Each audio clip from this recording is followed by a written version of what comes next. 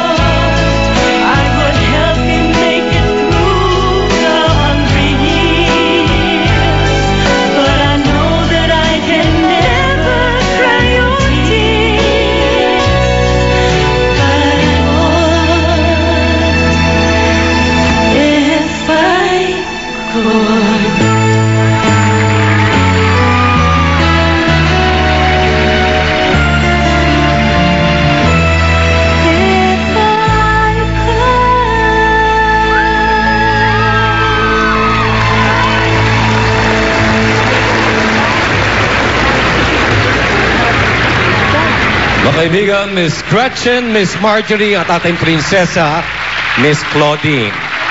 Good evening. Edu. Happy birthday. Hi, Marge. Thank you. Mare. Hi, Edu. Hello, Miss Gretchen. Magandang gabi po sa inyo. Good evening po sa inyong lahat. Magandang magandang gabi po sa inyong lahat. Hindi niyo po alam kung gaano kami kasi ni Claudine sa dami ng suporta na nakita namin ngayong gabi. Maraming maraming salamat po.